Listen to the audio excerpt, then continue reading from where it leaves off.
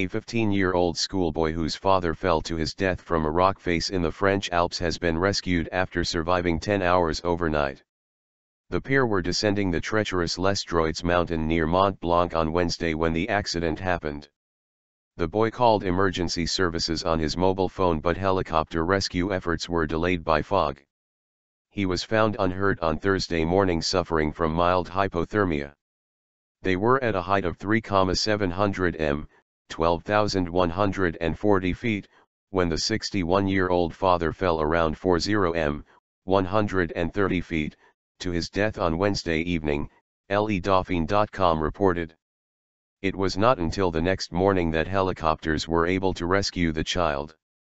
The father's body was retrieved shortly afterwards. The teenager was there for around 10 hours, hanging from the cliff face. We commend the way he acted, and his courage demonstrated throughout the night, Police Commander Stephen Bozon was quoted as saying. Le Dauphine reported that the pair were Americans living in London.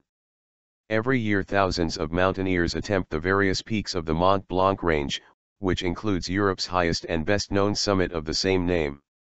An average of 59 people are killed each year in accidents on its slopes, according to the Chamoniarde, an association that provides safety information for the area.